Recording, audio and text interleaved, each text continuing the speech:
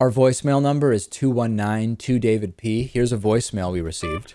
Hi, just to say hello, and as per Fiddler on the Roof, a blessing on your studio. Mazel tov, mazel tov. That's great. Louis is going there.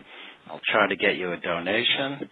And I love Louis's painting number two, Pizza for a Cloudy Afternoon. Okay, boys, great luck. Speak to you later.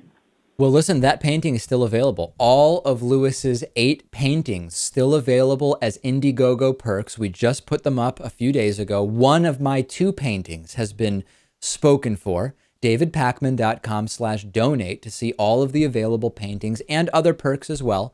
On the bonus show today, a Phoenix man finds $70,000 in uncashed city checks in a dumpster. The big solar plane news, the prototype makes it over the Pacific Ocean, and John F. Kennedy Airport's TWA terminal is set to be converted. All of those stories and more on today's bonus show.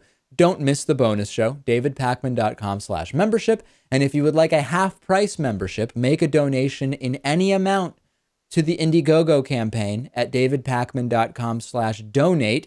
And then you will get emailed instructions on how to get a membership at half price.